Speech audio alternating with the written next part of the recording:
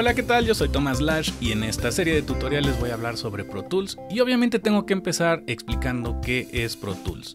Resulta que Pro Tools es una herramienta, una estación de trabajo para hacer audio digital. En inglés a esto se le conoce como DAW, Digital Audio Workstation, y aunque hay muchas diferentes, de diferentes marcas y diferentes presupuestos, Pro Tools fue y sigue siendo probablemente la más importante, eh, porque en 1985 dos amigos, Peter Gotcher y Evan Brooks, fundaron una empresa llamada DigiDesign tratando de darle solución a un problema que tenían. Ellos querían eh, hacer edición de audio para guardar muestras de sonidos en unos chips que ellos vendían, eh, como por ejemplo para hacer baterías digitales y otro, otro tipo de instrumentos, samples.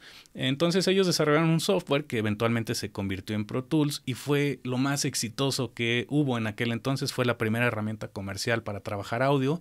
Y años más tarde, Avid, eh, un gigante de la tecnología, en particular del video, de la industria del video, em, era un cliente importante de eh, DigiDesign, Avid decidió adquirir DigiDesign y la marca de Pro Tools y hoy en día Pro Tools y otras marcas pertenecen a la familia de Avid.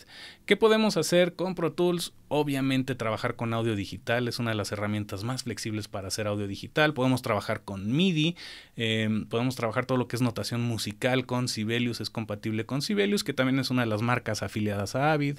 Podemos grabar, podemos editar, podemos mezclar, automatizar, componer, podemos hacer trabajo de postproducción. Con postproducción me refiero a todo lo que es trabajo de audio para video, eh, como, no sé, cine, televisión, comerciales, etcétera, eh, diseño sonoro, eh, juegos de video y muchísimo más. Entonces, eh, Pro Tools se ha convertido en el estándar y por eso creo que es tan importante aprender Pro Tools. Si has aprendido a hacer cosas con Logic con Ableton Live o con Reaper o con Cubase o con cualquiera de estas herramientas, debes también saber trabajar con Pro Tools porque es el estándar. Sigue siendo la herramienta que más se usa en la industria del audio profesional. Y bueno, en ese sentido puedes eh, adquirir o puedes trabajar básicamente con cuatro variantes de Pro Tools. La más sencilla es Pro Tools First, que es una versión gratis, aunque muy limitada, con la que puedes aprender y ver lo que se puede hacer con Pro Tools. En esta versión no puedes trabajar con video, únicamente audio y está limitado a 16 canales. Si eh, tienes eh, necesidad de trabajar como músico o hacer trabajo que requiera video, puedes usar Pro Tools Standard. En este Pro Tools puedes trabajar hasta 32, y 32 entradas y salidas de audio simultáneas y puedes tener hasta 128 canales. ¿A qué me refiero con esto? Puedes trabajar hasta 128 canales editando y trabajando y corriendo al mismo tiempo esos canales, pero solo puedes grabar al mismo tiempo 32 entradas y sacar 32 salidas, obviamente teniendo un hardware compatible.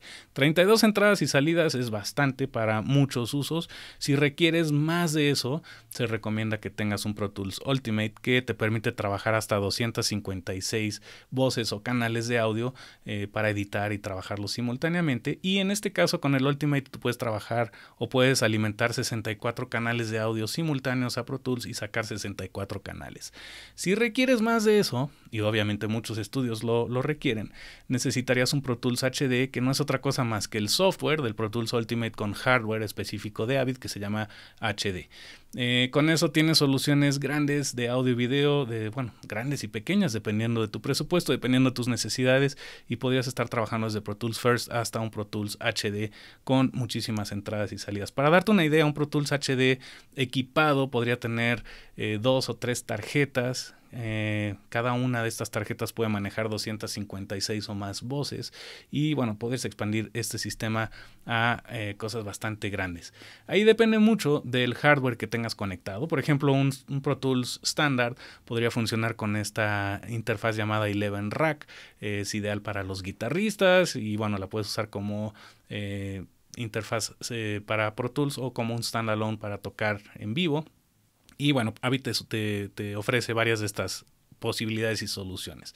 Si te dedicas, por ejemplo, a la postproducción, la HD Omni podría ser una buena solución. Esta HD Omni se tiene que conectar forzosamente a través de una tarjeta que va a la computadora y por eso se llama HD y ahí sí requieres una tarjeta HD para trabajarla. Igual que la interfaz que está hasta abajo que se llama HDIO.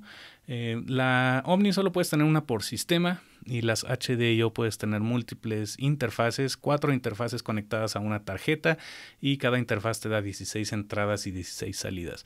Si necesitas más de eso, puedes conseguir una segunda o una tercera tarjeta y a cada tarjeta le puedes poner cuatro de estas interfaces y expandir tu sistema. También hay soluciones de Focusrite que son compatibles con los sistemas HD y cuando estamos hablando de un Pro Tools estándar no necesitas forzosamente utilizar hardware de Avid, puedes utilizar otras marcas como Tascam, como Universal Audio, Behringer, Yamaha y otras cosas. Cualquier cosa que tu sistema operativo detecte lo puedes utilizar con el software de Pro Tools. Entonces, bueno, estos son algunos ejemplos de estos son algunos ejemplos de interfaces y cuando trabajamos en Pro Tools básicamente estamos emulando las funciones de una grabadora o de una consola de audio y por eso es que tenemos las dos ventanas que son la ventana de edición, básicamente es como si fuera tu grabadora y la ventana de mezcla que es como tu consola o tu mezcladora de audio.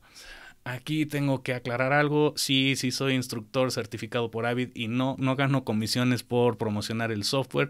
Lo que sí es importante es que ocasionalmente entres a la página de Avid.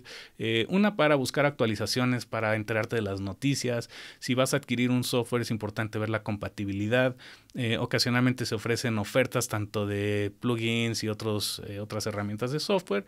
Y si eres estudiante puedes obtener descuento educativo en caso de que decidas adquirir el software. Entonces, pues pues bueno, aquí te pongo la página para que la consultes eventualmente. Y esto a muy grandes rasgos es Pro Tools. Muchísimas gracias por tu atención. Nos vemos muy pronto.